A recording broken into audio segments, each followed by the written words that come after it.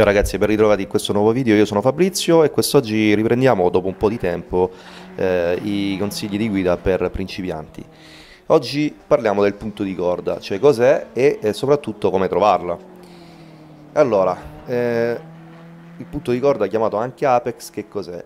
Allora, non è soltanto l'interno di una curva, non è un, un punto definito in modo casuale, la corda è un punto immancabile in cui il pilota non può sbagliare e che andrà a definire e condizionare la vostra velocità d'uscita. Non entrerò nello specifico, ma secondo me il punto di corda è interpretato come si deve se riuscite a riunire più condizioni. La base assoluta e basica, ma necessariamente la più importante, è uscire veloce, perché la percorrenza veloce in curva è buono, ma uscire veloce è ancora meglio. Sacrificare l'entrata vuol dire ottenere benefici in uscita.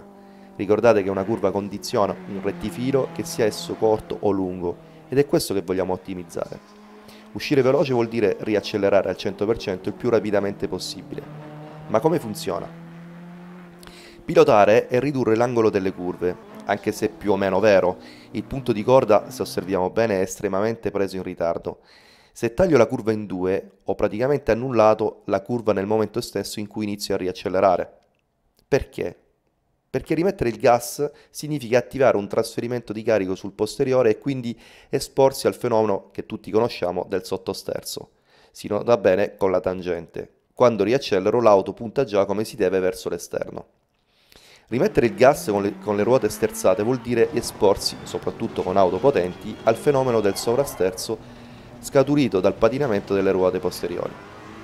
Ma con questo punto di corda tardivo, come abbiamo visto dall'alto, il vostro volante è raddrizzato, passatemi il termine, al centro della curva e potete quindi riprendere ad accelerare quasi al 100% al momento in cui puntate la tangente. Guadagniamo quindi in sicurezza ed in velocità d'uscita.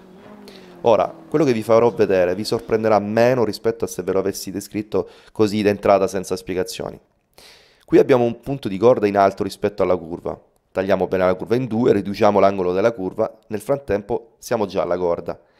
Non posso però ancora dare gas perché ho le ruote ancora sterzate, con conseguente rischio di testa coda.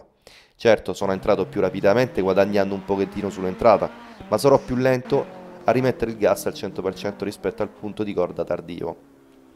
In questo punto di corda tardivo invece ci serviremo della frenata in appoggio che sostanzialmente consiste nel riprendere un po' i freni per ridare aderenza all'anteriore quindi della fase neutra per fare girare l'auto e per farla allineare praticamente all'uscita della curva, cancellando almeno il 75% di questa curva e quindi dando la possibilità di poter riaccelerare senza dover continuare a sterzare, avendo così meno rischi di partire in testa coda dovuto alle ruote troppo sterzate.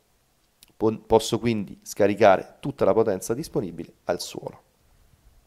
Ovviamente questa teoria e questa tecnica varia in base alla categoria del veicolo.